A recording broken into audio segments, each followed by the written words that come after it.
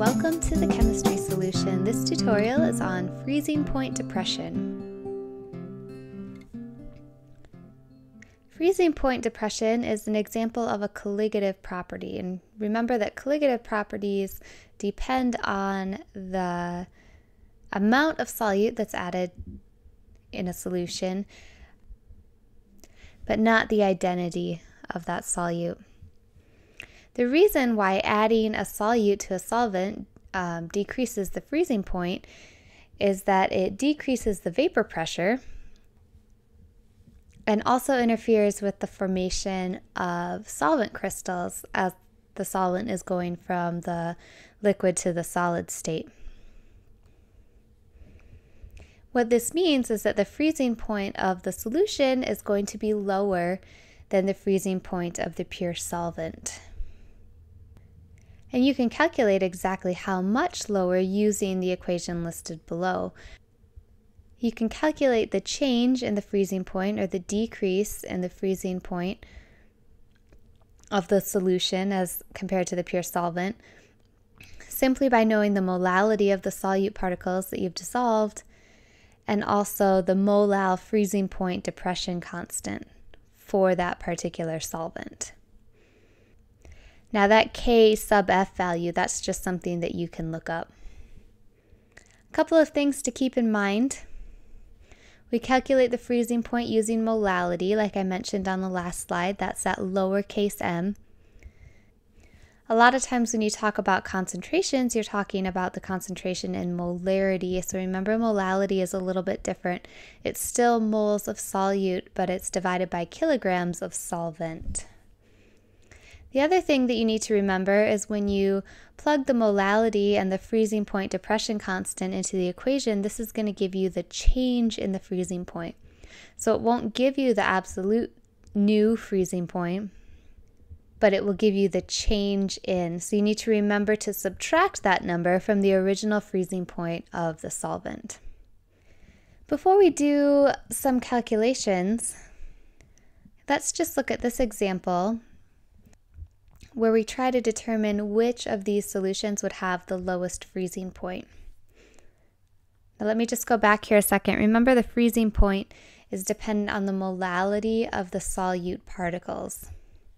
The other thing that you need to remember is anytime you have an ionic compound or a compound that will completely ionize in water, those molecules will dissolve to give different numbers of ions and each of those ions counts as a separate particle. So you're not necessarily just looking at the molal concentration of the solute itself, but the molal concentration of the particles you get when that solute dissolves.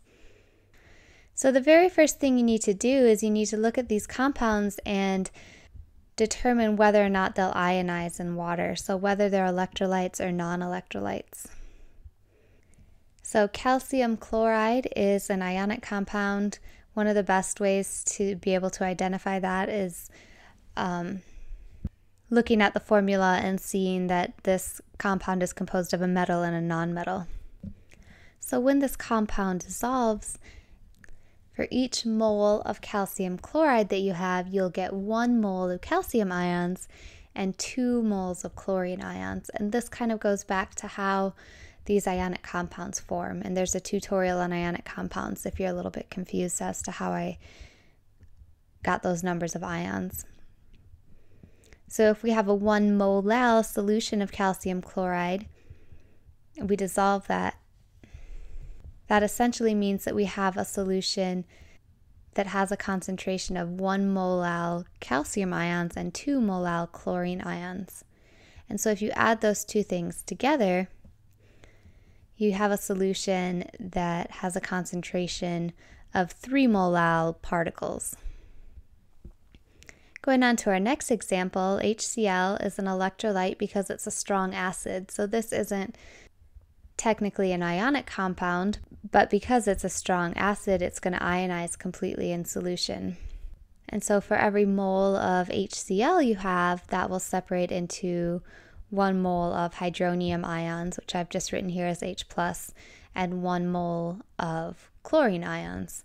So if you have a 0.4 molal solution of HCl, you have a 0.4 molal solution of hydronium ions and a 0.4 molal solution of chlorine ions. So when you add those two together, the solution has a concentration of 0.8 molal particles. Okay, moving on to the third example, we have sucrose, and you don't necessarily need to know the name of that formula, but what you should recognize is you have a formula that's made entirely of nonmetals. And so almost always that is going to be a molecular compound and that will not be an electrolyte. So this compound will dissolve in water, but it's not going to ionize at all. And so all of the carbon and hydrogen and oxygen atoms are going to stay bonded together. They're not going to separate into separate particles or separate ions. So this solution will have a concentration of 0.7 molal particles. And the very last one, magnesium bromide, that's pretty similar to the first example that we looked at. This is an ionic compound, so it's an electrolyte. Again, one of the ways to pick that out is by identifying that magnesium is a metal and bromine is a nonmetal. That typically signifies an ionic compound. When you dissolve magnesium bromide in water, this compound will ionize to give you magnesium ions that have a charge of plus 2 and um, then two bromine ions that each have a charge of negative 1. And so if you had a mole of magnesium bromide, you would get one mole of magnesium ions and two moles of bromine ions. And so if I have a solution that's 0.6 molal magnesium bromide, if I'm looking at the concentration of the particles in that solution, it will be 0.6 molal magnesium. And because you get two bromine ions for each um, that dissolve, the solution will have a concentration of 1.2 molal in terms of bromine ions. And so if you add those two together to get the total concentration of particles in that solution, you'll have an effective concentration of 1.8 molal with regard to those particles. So once we know how many um, particles we have dissolved in the solution, now you can put those in order.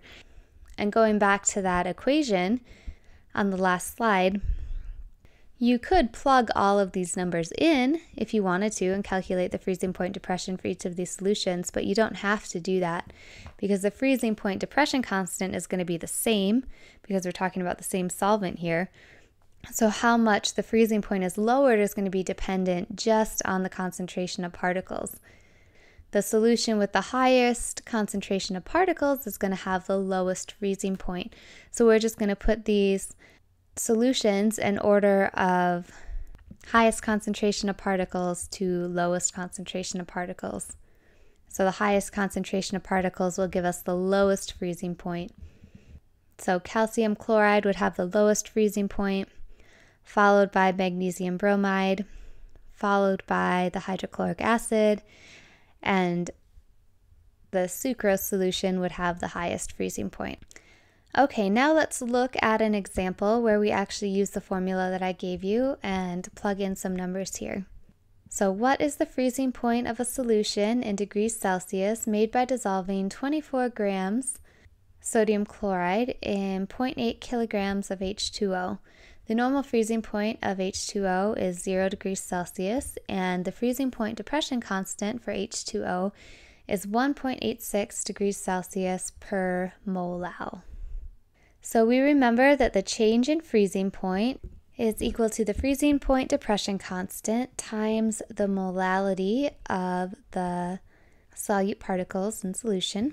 If you look in the problem, you're not given the molality, so the first step is to find the molality. Remember, molality is moles of solute per kilogram of solvent.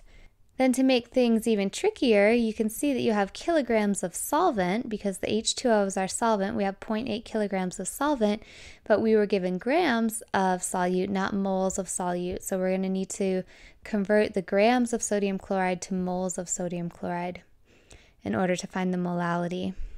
If this is a concept that you've struggled with, there is a tutorial on interconverting masses, moles, and number of particles as well. So you can check that out if you need a little help going from grams to moles.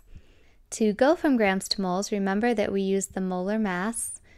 So the number of grams of sodium chloride is 58.4 in one mole. We put grams on the bottom of our conversion factor here, so it will cancel with the grams that we originally had. And then remember from the last example we did, we're not just looking for the uh, molality of the solute, we're looking for the molality of the solute particles. And so sodium chloride is an ionic compound, again, metal and nonmetal.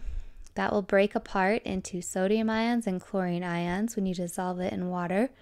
So for each mole of sodium chloride, you get two moles of particles, one mole of sodium ions and one mole of chlorine ions. So that leaves us with 0.822 moles of particles in this 24 grams of sodium chloride. So that's what we'll plug in for the moles of solute particles. And then we're going to divide that by our kilograms of solvent, which was given to us in the equation, 0.8 kilograms of water. That gives us a molality of 1.03 with regard to solute particles. So now we know the molality and the freezing point depression constant was given to us in the problem. It's 1.86 degrees Celsius per molal. You multiply that by the molality, 1.03 molal, and you'll notice you have molality on the top and molality on the bottom, so those will cancel each other out. And you are left with a change in freezing point of 1.91 degrees Celsius. Now, one of the last mistakes that people make will be to just report this as the new freezing point. But remember, this is actually the change in freezing point. So you need to remember that that delta sign again means change in. And you also need to remember that anytime you add a solute to a solvent, then it's going to lower the freezing point. So we need to take this change in freezing point and subtract it from the initial freezing point. So if the freezing point of pure water is 0 degrees Celsius, we've lowered the freezing point by 1.91 degrees Celsius. That gives us a new freezing point of negative 1.91 degrees Celsius. Thanks for watching this tutorial. I hope it was helpful and please feel free to check out our other free tutorials on thechemistrysolution.com.